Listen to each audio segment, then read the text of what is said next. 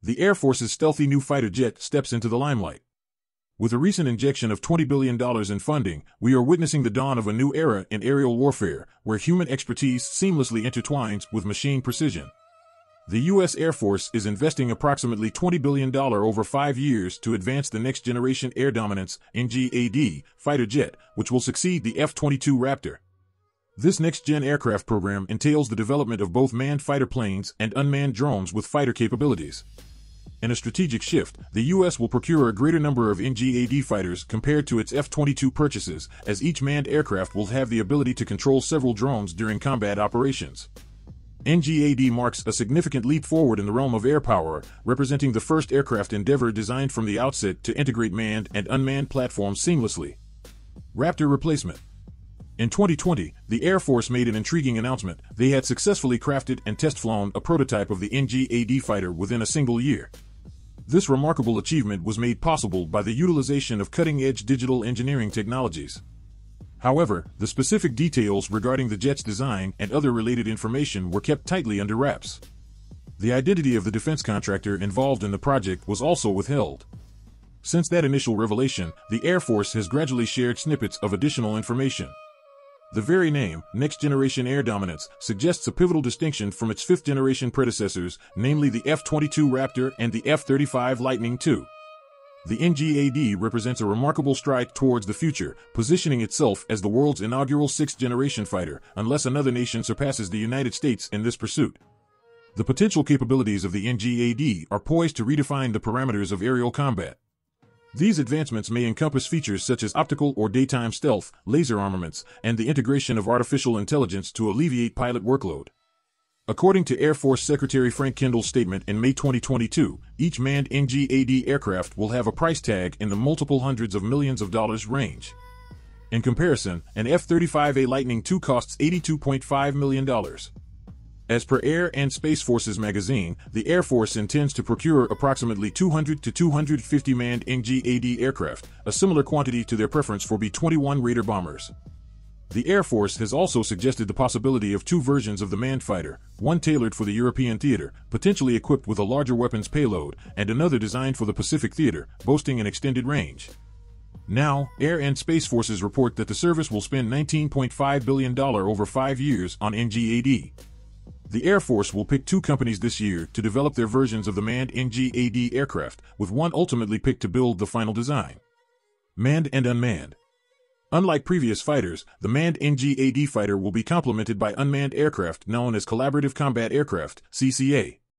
CCA will be a stealthy, high-performance autonomous aircraft with the ability to carry a variety of payloads, from sensors to jammers and weapons.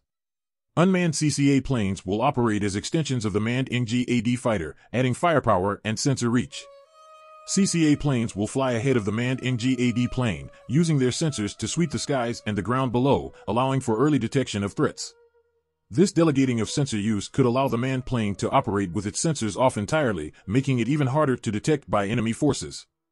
The concept you're describing involves the integration of next generation air dominance NGAD platforms with unmanned combat air vehicles CAVs to enhance the capabilities of manned aircraft in both air-to-air and air-to-ground missions. This approach allows for increased standoff distances, reduced risk to human pilots, and potentially greater mission success through the deployment of swarming tactics and specialized capabilities.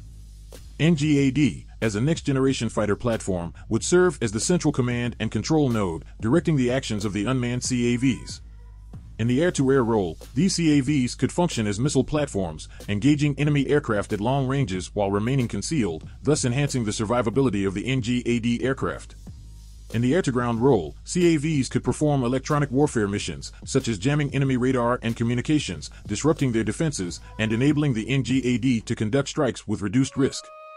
The cost effectiveness of the CAVs, as compared to traditional manned aircraft, allows for the procurement of a larger number of units, thereby increasing operational flexibility and resilience. The Air Force's plan to potentially acquire up to 1,000 CCA drones, it demonstrates a shift towards a more distributed and networked approach to aerial warfare. The Air Force's decision to invest $8.8 billion over five years in the development of CCA underscores the strategic importance placed on unmanned systems and their role in future air combat operations.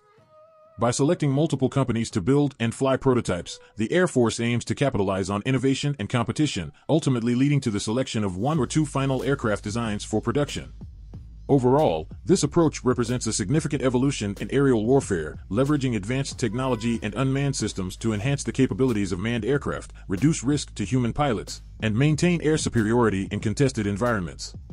The wargame simulation conducted by the Mitchell Institute provides valuable insights into the potential effectiveness of pairing sixth-generation aircraft with combat air vehicles, CAVs, and future conflicts, particularly in scenarios involving contested airspace like the one surrounding Taiwan.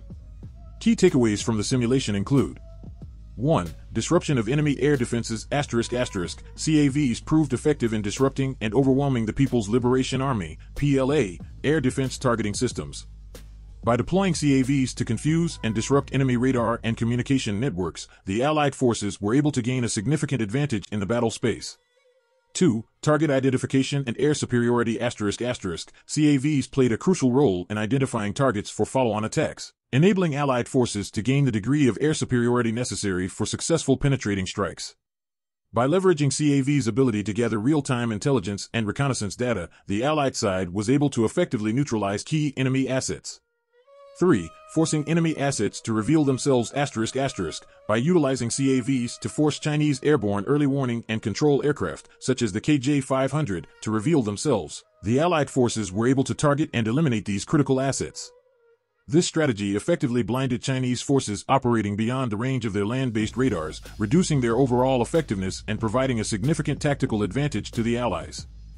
4. Missile sponge tactics. CAVs acted as sacrificial assets, absorbing enemy missile fire and exhausting Chinese fighters of their missile stores. This tactic left enemy aircraft vulnerable to subsequent attacks by manned aircraft, further enhancing the effectiveness of Allied air operations. In the end, the wargame simulation highlights the potential synergy between sixth-generation aircraft and CAVs in future air campaigns, emphasizing the importance of leveraging unmanned systems for disruptive and decisive effects on the battlefield.